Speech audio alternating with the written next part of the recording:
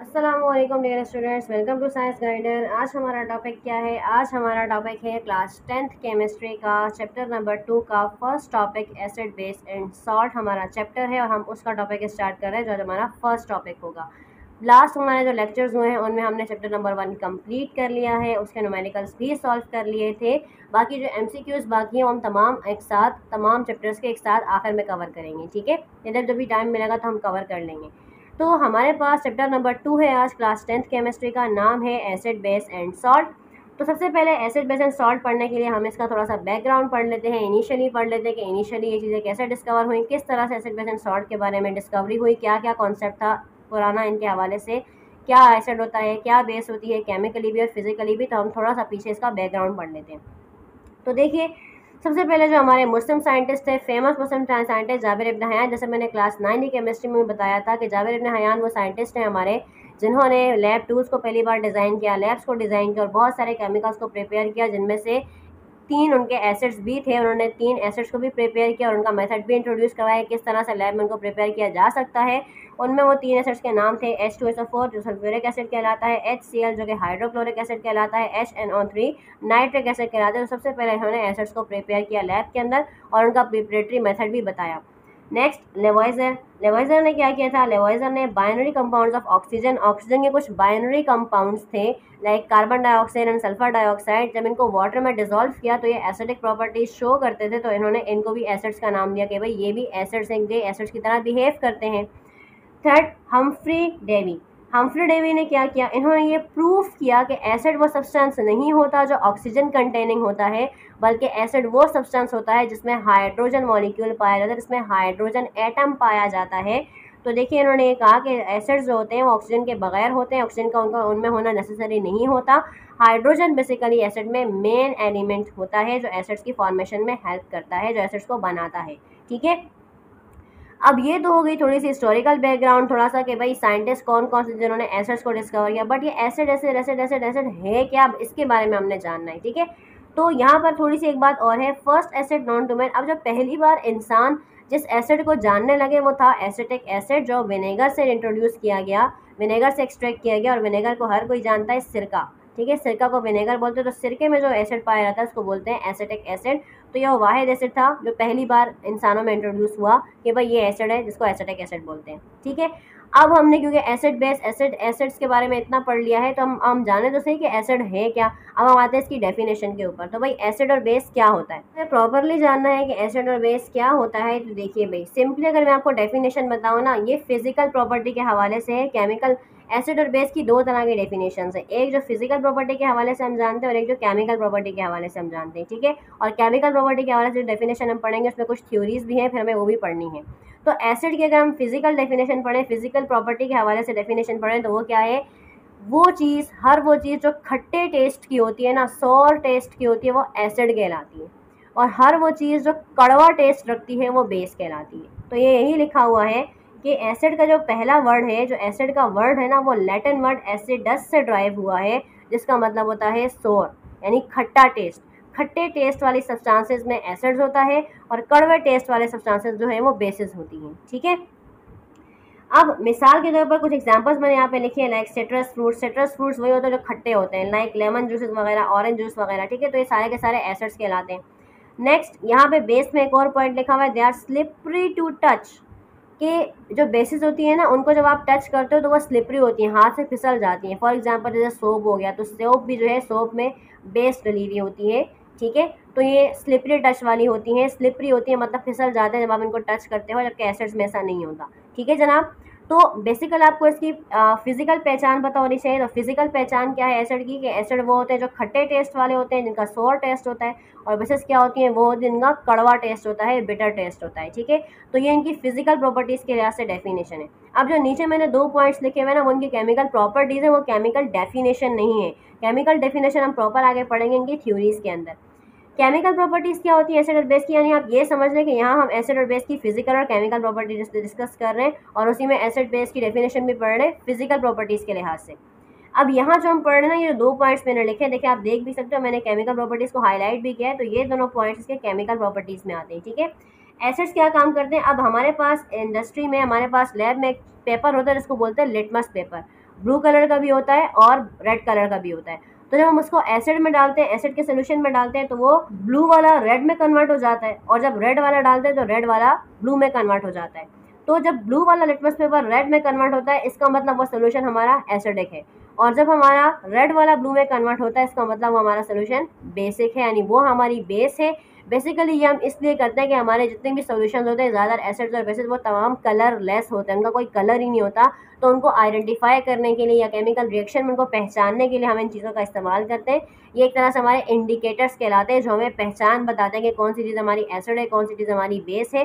तो हम उनको पहचान करने के लिए, उनके आइडेंटिटी के लिए हम ये काम करते हैं, हम ये इंडिकेटर्स का इस्तेमाल करते हैं। ठीक है? तो लेटमस पेपर एक पेपर होता है रेड भी और ब्लू भी तो जब रेड हमारा ब्लू में कन्वर्ट हो जाए तो इसका मतलब वो सोल्यूशन हमारा बेसिक है। और जब हमारा ब्लू वाला रेड में कन्वर्ट होता है, इसका मतलब हमारा सोल्यूशन एसिड है। तो जब हमें केमिकली एसिड को पहचानना होता है लैब में तो हम इस तरह से पहचानते हैं।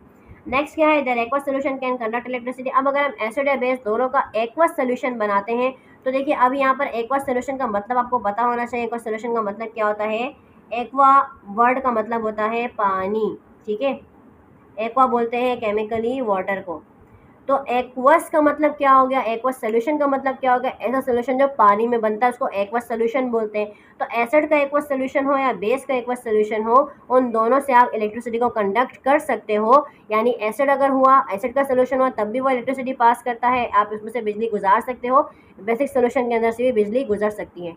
तो यहाँ जो हमने पढ़ा, यहाँ हमने क्या पढ़ा? एसिड का बैकग्राउंड पढ़ा थोड़ा सा हमने साइंटिस्ट के हवाले से पढ़ा और फ़िज़िकल और केमिकल प्रॉपर्टीज़ पढ़ी और एक हमने क्या पढ़ा इसमें पॉइंट डेफिनेशन का पढ़ा कि एसिड और बेस की फिजिकली प्रॉपर्टी फिजिकली क्या डेफिनेशन है कि एसिड किस टेस्ट का होता है और बेस किस टेस्ट की होती है? तो यही इसकी फ़िज़िकल प्रॉपर्टी भी कहलाती है और ये इसकी फिजिकली डेफिनेशन भी कहलाती है फ़िज़िकल प्रॉपर्टीज़ के रेफरेंस से। और बाकी हमने कुछ फिजिक केमिकल प्रॉपर्टीज़ पढ़ी हैं, अभी ये नहीं पढ़ा कि केमिकली एसिड बेस कहते किसको हैं, ठीक है? ये भी हम आगे पढ़ते हैं। अब ये टॉपिक हमारे पास क्या है? ये टॉपिक है हमारे पास, हमने पीछे प्रॉपर्टीज़ पढ़ ली और डेफिनेशन पढ़ ली फ़िज़िकल प्रॉपर्टी के रेफरेंस से।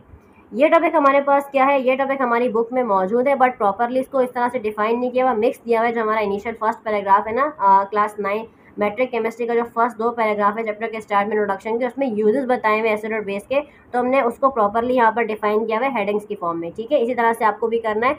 पेपर में सवाल आ सकता है कि यूजेस ऑफ़ एसिड बताएँ या बेस बताएँ तो आपको पता होना चाहिए तो आप इन पॉइंट्स को अच्छे से नोट कर लेना, ठीक है?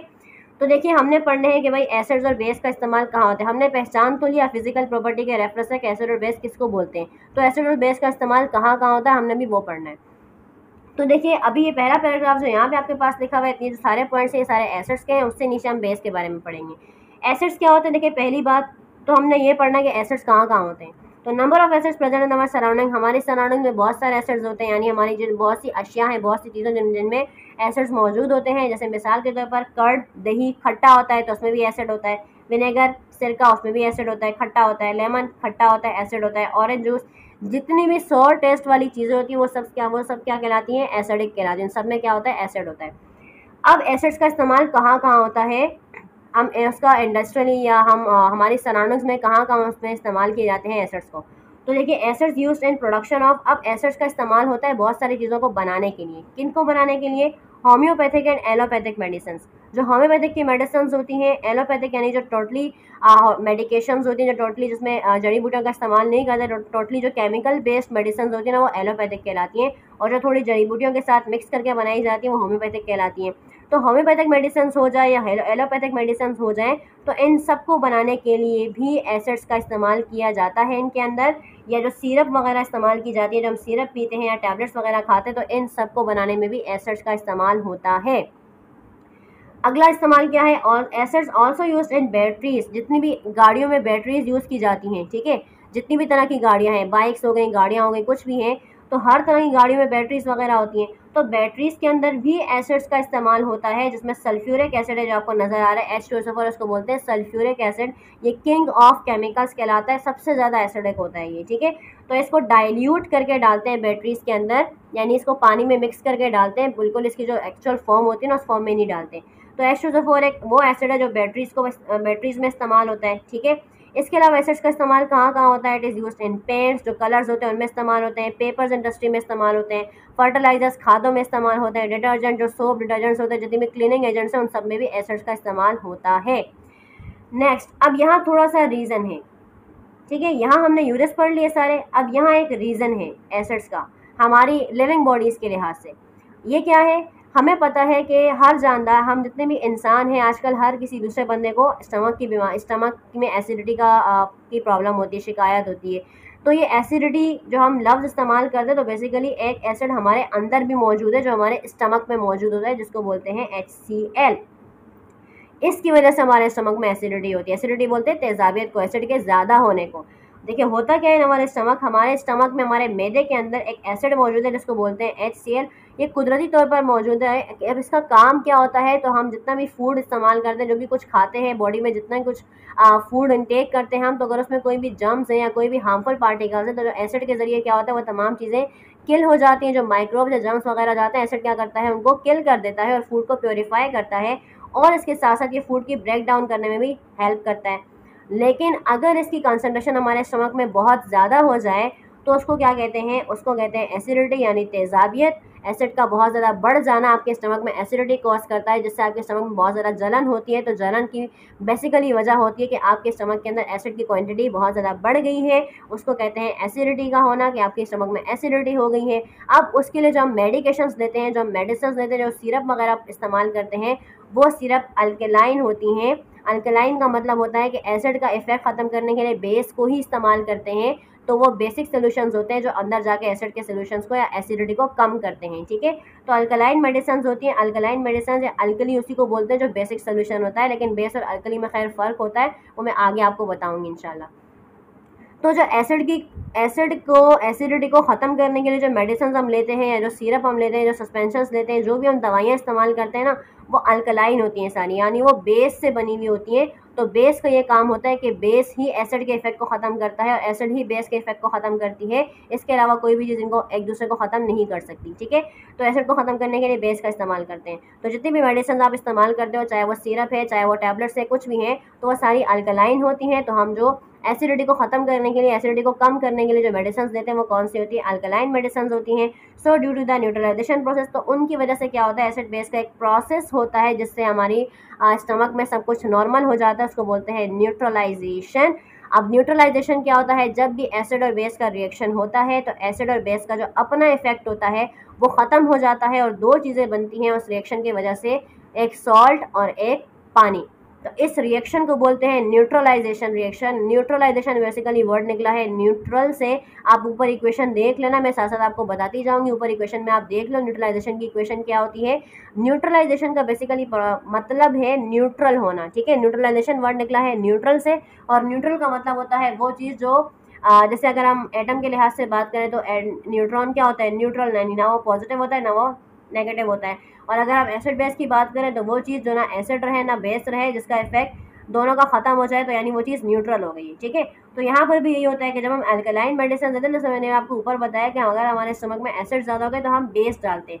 तो एसिड का इफ़ेक्ट बेस ही ख़त्म कर सकती है और बेस का इफ़ेक्ट एसिड ख़त्म कर सकता है। तो होता क्या है कि एसिड और बेस जाके रिएक्शन करते हैं। जब एसिड और बेस का रिएक्शन होता है ना तो एसिड और बेस दोनों का इफ़ेक्ट ख़त्म होता है और उसकी वजह से सॉल्ट और वाटर बनता है। तो इस प्रोसेस को बोलते हैं न्यूट्रलाइजेशन तो हमारे स्टमक के अंदर भी या जहाँ पर भी एसिड वगैरह गिर जाता है ना, या शर्ट्स पर भी, या अगर लैब में कभी खुदा ना खासा कभी एसिड गिर जाए तो तब भी अल्कली यानी बेस का इस्तेमाल किया जाता है तो एसिड बेस का रिएक्शन होता है और उसकी वजह से एसिड का इफ़ेक्ट ख़त्म हो जाता है और बेस का भी इफ़ेक्ट भी ख़त्म हो जाता है तो उसको बोलते हैं न्यूट्रलाइजेशन प्रोसेस और इन दोनों के रिएक्शन की वजह से सॉल्ट और वाटर बनता है तो यही सेम रिएक्शन हमारी बॉडी के अंदर भी होता है, जिसकी वजह से हमारी बॉडी में जो स्टमक में एसिडिटी होती है, वो कम हो जाती है या ख़त्म हो जाती है आहिस्ता आहिस्ता ठीक है?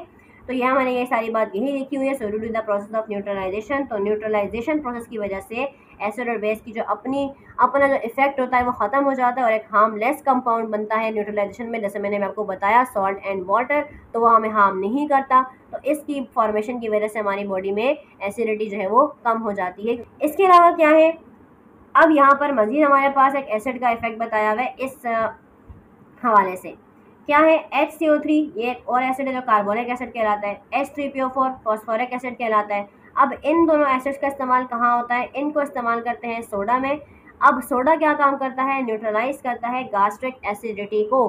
गास्ट्रिक एसिडिटी कहते हैं जो हमारी इंटेस्टाइंस में तेजाबियत होती है। जब हमारे इंटेस्टाइंस में पेन होता है, वहाँ जलन होती है तो इंटेस्टाइंस के अंदर भी एसिडिटी बढ़ जाती है। तो उसकी एसिडिटी को भी कम करने के लिए क्या करते हैं, जो मेडिसिन इस्तेमाल की जाती हैं, उनमें क्या होता है कार्बोनिक एसिड या फॉस्फोरिक एसिड होता है तो उसको उस मिक्सर में यूज़ किया जाता है, जो क्या काम करती हैं, अंदर जाके गास्ट्रिक एसिडिटी को रिमूव करती हैं या उसको कम करती हैं तो यानी यहाँ पर, वहाँ पर भी बेस या एसिड का की कंसनट्रेशन ज़्यादा हो जाती है तो जब आप बेस एसिड में डालोगे या एसिड को बेस में डालोगे तो वही होगा न्यूट्रलाइजेशन रिएक्शन और सॉल्ट और पानी बनेगा। तो उस की वजह से क्या होगा, उनका अपना इफ़ेक्ट ख़त्म हो जाएगा और हम और बॉडी जो है वो या वो वो जो बॉडी पार्ट है वो नॉर्मल हो जाता है। तो यहाँ तक आपको बात समझ में आई कि एसिड और बेस का इस्तेमाल कहाँ कहाँ होता है हमारे सराउंडिंग्स में और वो कौन कौन से होते हैं और कितने नंबर्स में पाए जाते हैं, ठीक है? अब हमने क्या पढ़ना है? बेसिस के इस्तेमाल के बारे में पढ़ना है। यूजेज ऑफ़ बेसिस पढ़नी है कि बेसिस का इस्तेमाल कहाँ कहाँ पर होता है, यानी जो बिटर टेस्ट वाली चीज़ें होती हैं वो कहाँ कहाँ इस्तेमाल की जाती हैं। तो वही फ़र्स्ट पॉइंट पहले तो हमने यह पढ़ना है कि कितने नंबर ऑफ़ बेसिस कहाँ कहाँ पाई जाती हैं। तो number of bases present like तो नंबर ऑफ़ बहुत सारे वेजेस प्रेजेंट है, जिस तरह एसिड प्रेजेंट है हमारी सराउंडिंग्स के अंदर। बेटर गार्ड करेले को बोलते हैं कॉफ़ी भी कड़वी होती है चॉकलेट भी कड़वी होती है तो जितनी भी टेस्ट जितनी भी चीज़ों के अंदर कड़वा टेस्ट होता है, वो क्या कहलाती है? बेस कहलाती है, ठीक है? ये क्या है? फ़िज़िकल प्रॉपर्टी के हवाले से डेफिनेशन है। अब बेसिस का इस्तेमाल कहाँ कहाँ पर होता है? तो देखो it is use in soap industry bases का इस्तेमाल सोप इंडस्ट्री में होता है, यानी साबुन बनाने के लिए। अब कौन सी वाली बेस इस्तेमाल करते हैं? तो सोडियम हाइड्रोक्साइड यूज़ की जाती है, इसका सोल्यूशन यूज़ किया जाता है सोडियम हाइड्रोक्साइड का। एन ये एक बेस है। तो इसका इस्तेमाल करते हैं साबुन बनाने के लिए। तो ये क्या है? एक बेस है। तो सोप इंडस्ट्री में बेस का इस्तेमाल किया जाता है। इसके अलावा it is also use in paper industry paper बनाने के लिए भी बेस का इस्तेमाल करते हैं। एसिड का भी करते हैं, क्योंकि हमने ऊपर ही पढ़ा है। इसके अलावा सीमेंट इंडस्ट्री में भी बेस का इस्तेमाल करते हैं। Plaster of Paris plaster of Paris क्या है? जब कोई भी बोन फ्रैक्चर हो जाती है तो वो जो पूरा वाइट कलर का जो पूरा प्लास्टर लगाते हैं, वो प्लास्टर ऑफ़ पेरिस होता है, ठीक है? प्लास्टर ऑफ़ पेरिस भी एक बेसिक एक बेस है। सीमेंट और प्लास्टर ऑफ़ पेरिस ये दोनों जो कंपाउंड्स हैं ना, ये बनाए जाते हैं किससे? एक बेस से बनाए जाते हैं। जो बेस क्या है? Calcium hydroxide C A O H out two तो ये वो बेस है जो कि सीमेंट और प्लास्टर ऑफ़ पेरिस जैसे प्रोडक्ट्स को बनाने के लिए इस्तेमाल की जाती है, ठीक है?